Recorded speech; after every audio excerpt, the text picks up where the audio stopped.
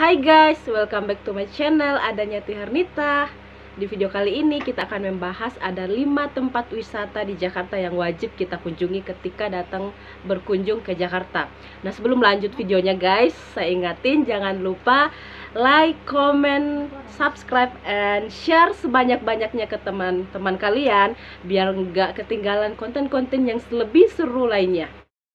Guys, yang istimewanya dari Monas ini adalah Monas ini menyimpan emas seberat 50 kg. Wow, berat banget guys.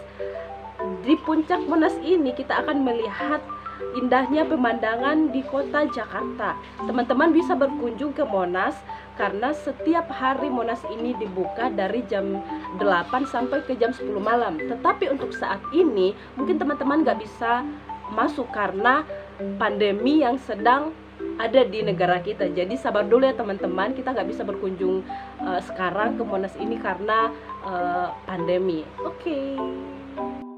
Oke okay, teman-teman, yang kedua adalah Kota Tua. Jarak Kota Tua dari Monas itu nggak jauh-jauh banget teman-teman. Cukup kita naik busway aja dengan melewati dua halte kita udah nyampe. Di Kota Tua ada lima museum yang bakal memperkaya wawasan kita ketika mengingat sejarah-sejarah uh, dahulu teman-teman. Yang pertama itu mus, uh, Museum Wayang, yang kedua Museum Bank Mandiri dan uh, seterusnya. Kota Tua ini dibuka setiap harinya mulai dari pukul 19 sampai dengan sore dengan tiket masuk hanya 5000 saja untuk melihat setiap museum-museum yang ada di dalamnya.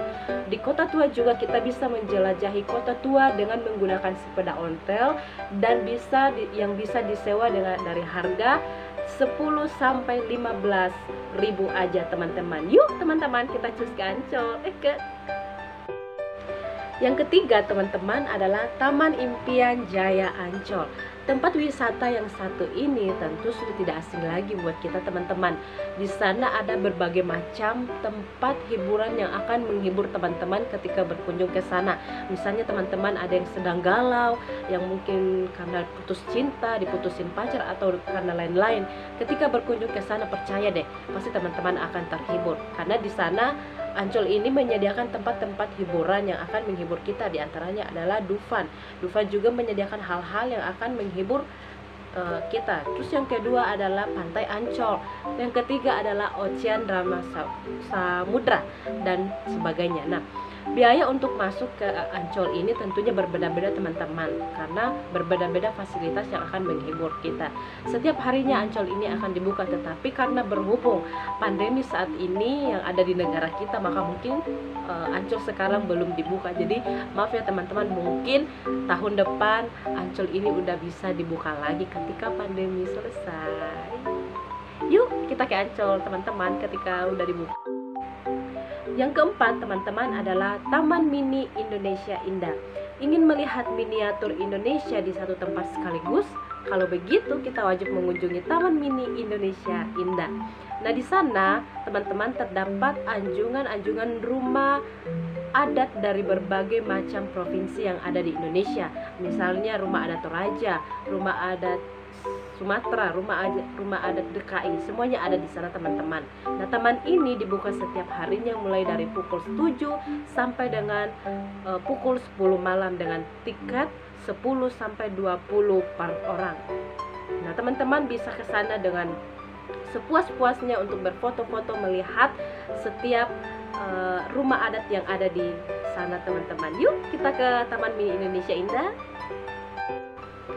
Yang kelima teman-temannya, yang kelima yaitu Taman Mangrove. Jangan bilang teman-teman di Jakarta nggak ada tempat wisata alam. Tentu ada dong, buktinya ada Taman Mangrove. Taman Mangrove ini terletak di Jakarta Utara, di sekitaran Pantai Indah Kapuk harga tiket untuk bisa masuk ke taman tersebut itu uh, kita harus bayar mulai dari harga 15.000 saja teman-teman.